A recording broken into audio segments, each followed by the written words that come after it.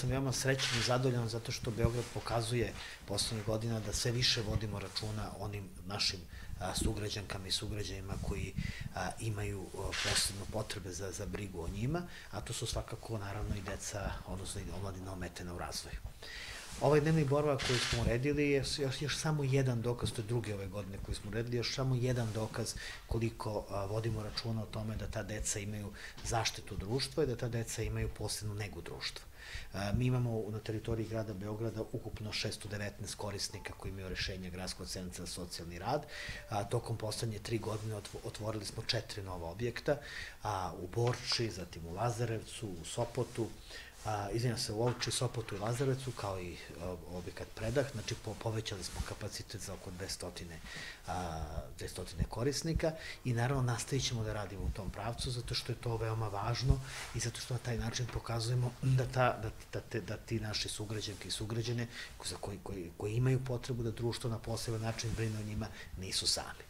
i na ovaj način kao grad koji ima sve veći budžet, koji ima mogućnosti sada konačno da rešava i, da, da, i, takve, i takve vrste problema za koje ranije naravno nismo mogli da ih rešavamo, sada možemo da kažemo da smo društvo koje, znači da smo društvo koje je odgovorno i koje vodi računa o svakom svom članu i zato sam veoma zadovoljan i srećan. Želim da se zahvalim ovim ljudima koji su, koji rade ovde, koji rade u svim ovim našim dnevnim centrima za, za boravak, njih je 358. Ono čega sam posebno zadovoljan, to je 70% njih vakcinisano, bilo bi bolje da je 100, ali je sasvim, sasvim sigurno više od proseka u odnosu na, na Beograd, na Srbiju. Mi smo inače danas prešli 62%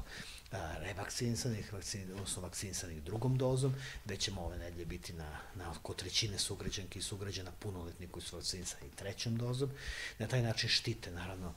svoje korisnike i štite sebe. I ono čime sam posebno zadovoljan, to je što su oni tako organizovali rad, da zaista nismo imali nikakvih problema ni tokom korone, jer a, ljudi, ko, odnosno njihovi korisnici imaju potrebe za ovakvom vrstom, a, za ovakvom vrstom aktivnosti, nezavisno od toga da li je korona ili nije korona, mi moramo, i oni moraju da se organizuju bez ozira kakva je epidemiološka situacija. Tako da hvala svima, hvala onima koji rade ovde, prvo zato što